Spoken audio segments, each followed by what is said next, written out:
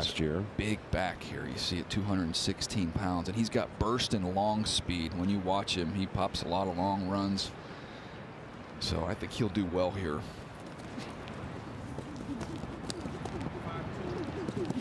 Four three nine is definitely in the category of doing well here. That's like Breece Hall territory. You look at look at Breece Hall. Breece Hall was 217 pounds and ran 4.39.